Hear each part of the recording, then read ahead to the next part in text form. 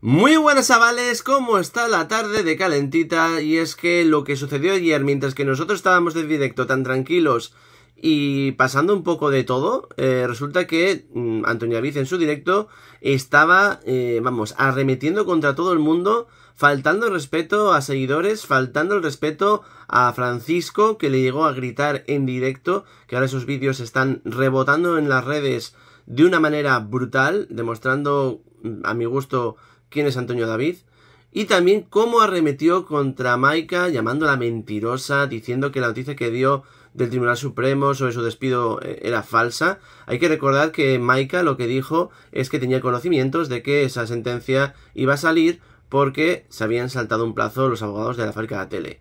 No que hubiese salido, sino que iba a salir, ¿no? Eh, aprovechándose de eso, Antonio David ha arremetido sin piedad y ahora Maika ha contestado esas faltas de respeto con un tuit, ¿vale?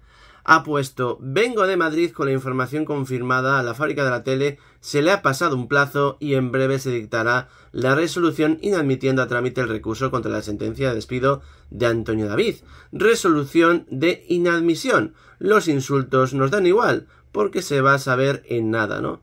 Eh, Claro, eh, la cosa está en que Antonio Aviz quería dejar de mentirosa a Maika y eh, utilizando al abogado y a Francisco. Francisco defendió a Maika en lo que pudo y el abogado se quedó callado viendo el panorama de un Antonio David fuera de sí. Ahora mismo las redes están siendo viscerales eh, arremetiendo contra lo que se vio porque sinceramente a mí me parece que fue muy medieval. Voy a utilizar ese término que me gusta mucho eh, en unos tiempos que ya no se pueden admitir ciertas cosas, ¿no? No sé lo que vosotros pensáis, eh, pero me parece a mí que mm, si no estás bien para hacer un directo, no lo hagas. Lo que no puedes hacer es el ridículo, que es lo que hizo ayer Antonio David, a mi gusto.